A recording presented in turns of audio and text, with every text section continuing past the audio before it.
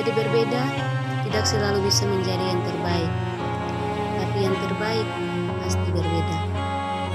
Kita masih muda, jalan kita masih panjang. Kadang kita berbuat salah, tapi kita harus belajar dari kesalahan itu. Perjuangan itu bukanlah sesuatu hal yang mudah, karena rasa sakit dihina, rasa sakit penolakan, dan berbagai rasa sakit yang akan kita alami pada saat kita berjuang. Tua itu pasti, dewasa itu pilihan, tapi sukses itu adalah keputusan.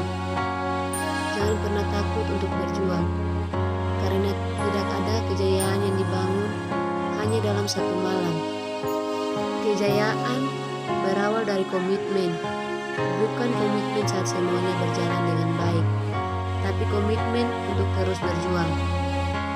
Hidup itu tidak mudah, makanya butuh kesabaran, keikhlasan, kegigihan, butuh semangat, dan butuh perjuangan. Jangan pernah menyerah atas impianmu. Impian memberi kita tujuan hidup. Ingatlah, sukses bukanlah kunci kebahagiaan. Sadarlah, hidup adalah perjuangan. Perjuangan adalah kehidupan. Siapa yang menanam, dia yang akan menuai. Berjuang adalah cara mencapai kesuksesan. Memang, bahagia adalah milik semua orang yang bersedia sabar dalam perjuangan. Jangan malas dan jangan menunggu. Kesuksesan harus dikejar agar ia datang lebih cepat. Selama kamu bersembunyi di balik kemalasan, maka kebahagiaan tidak akan menampakkan dirinya kepadamu. Hidup adalah tanggung jawab, maka berjanjilah untuk tidak menyalahkan siapa pun. Semangatlah, kamu cuma kehilangan keyakinan, kita cuma kehilangan orang yang mendukung kita. Kamu cuma kehilangan semangat sementara, tapi kamu perlu tahu, semua yang buruk terjadi itu sekarang hanyalah 10% dari momen hidup kamu. Sisanya 90% waktu kamu menikmati prosesnya. Kamu perlu ingat, kamu bisa mengulanginya kembali, mempelajari kembali, dan kamu perlu ingat semua hal yang sangat buruk terjadi akan menghasilkan sesuatu yang sangat indah. Kita perlu masalah untuk berkembang, karena tanpa masalah kita hanya menjadi orang rapuh. Masalah itu adalah pupuk, masalah itu adalah nutrisi. Masa itu memberi kita kekuatan pada diri kita untuk tumbuh. Kita perlu masalah untuk mendorong kita tumbuh dan melewati itu. Yang diperlukan untuk kita bangkit adalah kita tanamkan pada diri kita.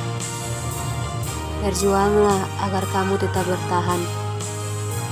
Percayalah, setelah kesulitan akan ada kemudahan. Percayalah, semua orang pernah mengalaminya. Yang membedakannya adalah kamu mampu bertahan bangkit atau menyerah.